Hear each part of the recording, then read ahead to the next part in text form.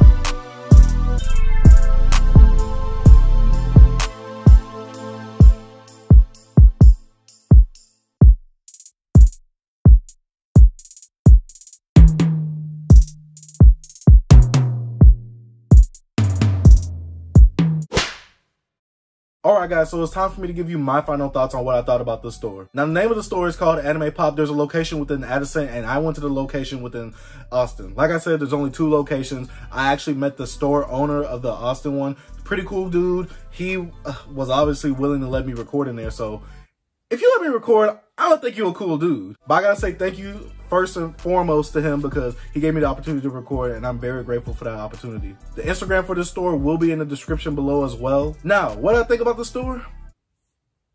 It's pretty good. Now, I'm not a big anime collector. Okay, well, I'm not a big like anime statue and figure collector. Like y'all see the Funko Pops back there, but that's like all the anime like memorabilia I collect besides manga issues too. Now, I did get one thing. I was on broke boy status when I went there, but I did get one thing. Beautiful, ain't it? So I recently started rewatching Yu Yu Hakusho, and if you follow me on Instagram, you will know as well because, well, I've been rewatching it, and I want to get all my pops on, like I said previously in my uh, ECCC haul video. If you want to see that video, click that top left card if you're on mobile. But yeah, I'm into collecting manga issues, and I really just want to get all the Yu Yu Hakushos. I'm already collecting Dragon Ball Super, Dragon Ball Z, a little bit of Naruto, and Mob Psycho and One Punch Man. So now that I'm on a new journey of collecting manga too, I'm killing myself. But let me know what you guys think about the store. Let me know if you guys will ever go to the store if you are in the Texas, Dallas, Austin area. Like I said, the store owners are cool. The statues and figures, pretty good price. Uh, they're not being upcharged or anything. I think they're worth the price that you pay for them. They even had Nendoroids. And if you watch Droobz vids, like I've been doing recently, which I shouldn't because he's a bad influence. He's a very bad influence because you watch his vids and you see them Nendoroids, you're gonna want to buy one too. But like I said, they had a lot of anime memorabilia. You could buy stuff. You could buy manga, statues, figurines, all type of stuff. They didn't really have that many pops, which I wasn't, you know, too focused on. I was just looking at the anime store, but it's weird that you call it anime pop. But let me know if you guys like the store. Tell me if you guys like these type of videos. Another episode of Come Shop with the Boi. And I know y'all see these packages back here. I see them too. I will be unboxing these later this week. Uh, just want to get one to two more packages and I will be good. But I'd like to say thank you guys for watching. If you're already not a returning viewer side subscriber, go ahead hit that subscribe button if you go ahead hit that subscribe button if you like Funko Pop content, anime content, Dragon Ball Z content. You got it here if you hit that subscribe button. And I gotta say welcome back to all my returning viewers side subscribers. And I gotta be thankful for y'all because y'all holding the boy down right now. Also, if you haven't already, go ahead and hit that like button for your boy. That way you won't forget. And I highly appreciate it. It helps the channel grow in ways that I don't know. Thirdly, if you haven't already, go ahead and follow me on Instagram. The link will be in the description below. And I have a public Discord for collectors and nerds all alike. But I'd like to say thank you guys for watching. Dark Sage out. Peace.